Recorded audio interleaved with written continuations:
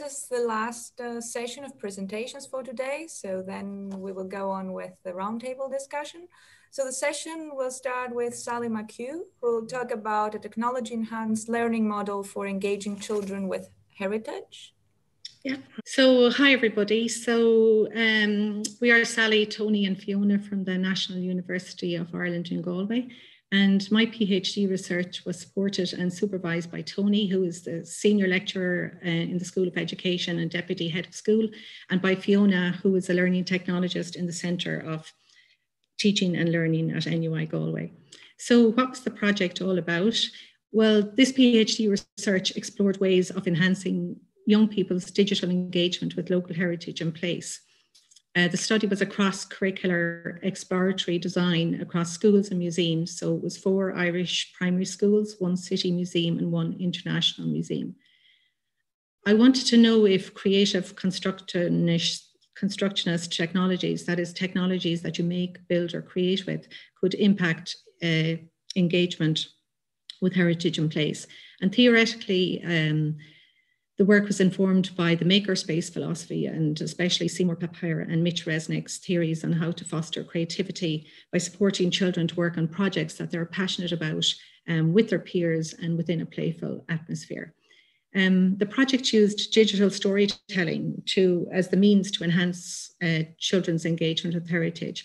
I used simple low threshold apps like Minecraft and iMovie and Comic Life uh, for children to create their interpretations on their local heritage or objects within a museum. Uh, the project was very much a creative, playful, and student centered approach to heritage engagement. So, an important aspect of this project was getting outside into historical space. Children brought iPads, which were supplied by the university, with them on field trips and recorded images for their stories. Uh, children were not required to stick to factual historical narrative or to adopt the museum's curator's perspective on the meaning of objects. In the school, more adherence and alignment with the curriculum was required, though, by the teachers. And one way of achieving a balance of, of the design across both learning environments was to adopt a playful learning approach. The rationale was to increase the children's interest, motivation, and engagement with cultural heritage by giving them opportunities to connect with each other, their own identities, and factual historical narrative in a playful way. Um, through place-making activities, children made connections with each other and their involvement contributed to their sense of belonging, place, and community.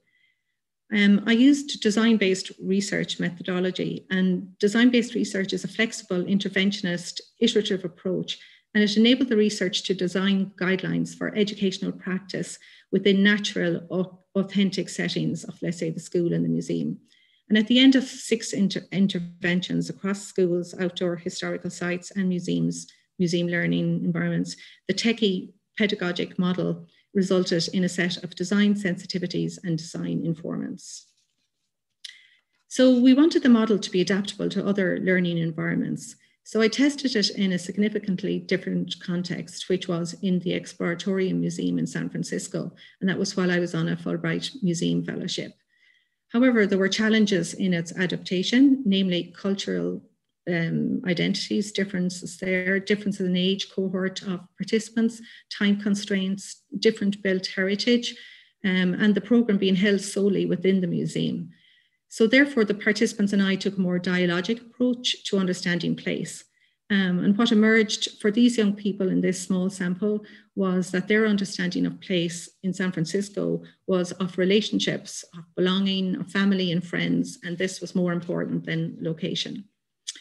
So um, challenges that I would um, have come up with would be the first one would be to do with learning in place. And the whole core concept of place based learning involves being in and experiencing place and developing rootedness and active citizenship and a democratic mindset. But it is challenging to run place based education programs in a museum when the literature suggests that benefits uh, are being outside and in place. And this is where the engagement with physical place and heritage happens. But however, the literature also suggests that museums are in a position to mediate a sense of place and that they have a potential role in making connections between people and place. So, a challenge for museums is to think creatively how to bring the museums out into place and into children's worlds rather than the idea of bringing children into the museums. So post pandemic, finding ways to bring the museum into the classroom or virtual spaces or more closely situate them in outdoor cultural heritage places is a challenge that we all have to meet. And another challenge I found was equity of inclusion. So, cultural heritage education programs in schools are very important because you reach potentially every child in the community. Whereas in our experience with the museum, it was more middle class, privileged children that attended the workshops.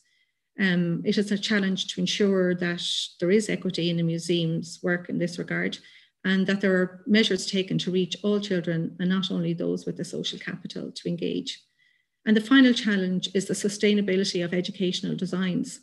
A collective channel, challenge for educational designers, researchers, museum staff, and funding agencies is that innovative educational projects are mostly one off projects so whilst any models produced are adaptable and adaptable by other institutions and other researchers, the, res- the research shows that very little are resourced in the longer term and activities can lack long-term sustainability. Models only work if supported over time and if museums, schools and cultural heritage bodies redesign their relations and routines. So there's the challenge for all of us in considering how to make improvements that last. So that's it. Thank you very much. Located on Istanbul's one of the oldest historical areas. Um, Pera Museum's Orientalist painting collection gathers significant artworks by European artists influenced by the Ottoman world and Ottoman artists and shows how they inspired each other from, uh, from 17th to 19th centuries. We focused on one exhibition of the museum for a year and worked on children's engagements. This exhibition, Intersecting Worlds, Ambassadors and Painters, depicts not only international relationships, but also portrays entertainments, clothes, and artifacts that have been significant part of the context. Um, and this highly rich historical context was not easily accessible to children when it comes to the historical narrative. We decided to design a, a picture book as uh, for museums, picture books and guidebooks have been significant tools with narration. They're affordable and accessible for the crowded school groups. The museum didn't have any interactive book for children, but they had several educational programs. Based on my experience in these programs as an educator, we created the picture book prototype. Several missions were designed to introduce abstract concepts from Ottoman era to children, such as ambassadorship. Each mission was addressing the tradition in the painting. And a narrated play around ambassadorship aimed to help children to embody the role of ambassador as they try to overcome the problems of ambassadors in the history. In this picture book, we utilize purpose, paper circuitry as a material interaction. When children push the buttons under the symbols of the paintings, they can light up the next painting or engage with the tradition. Nine to 10 years old children read the prototype of the book in the exhibition. Uh, for example, one of the painting was about the story of Ottoman envoys who tried to recollect the empire's debts uh, from another country in several attempts. Children as a group negotiated on how they can succeed in this task while sustaining peace among countries. Based on the comparison of my observations in this reading session with the general guided tour, I can assert that picture books can offer interactions alternative to guided tours and can complement the guided tours with the narration and activities presented in these books. We were able to observe that children shared their ideas with their peers more than the guided tours, and they also questioned the culture that they currently live in. By blending different fields, we tried to show how children's museum experience can be enriched through narratorial, playful, and embedded engagements. Children discuss difficult tasks of ambassadors compared to cultural norms in the past with today's, imitated the scene and questioned the convention such as Orientalism, and interpreted the circuits in a metaphorical way. Through the basic circuits and cultural heritage, children problematized the relationship between past and future. They metaphorically interpreted the circuits as connectors between different powers, just as ambassadors are connecting different countries. They also come up with ideas on how to integrate the circuits to the paintings more.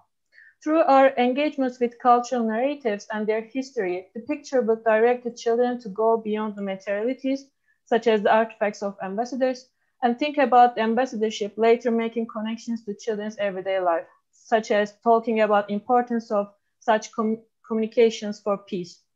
Here are a couple of questions that are still open to discuss. How can we foster visitors' critical thinking through new materials in relation to art and cultural heritage, such as paper circuits with narrations? How can we design low-cost uh, interactions that can be circulated across um, different contents, such as museums? And how can we design more inclusive and educational museum interactions, uh, especially for the context such as Pera Museum's orientalist paintings? So thank you very much for listening. Uh, thank you.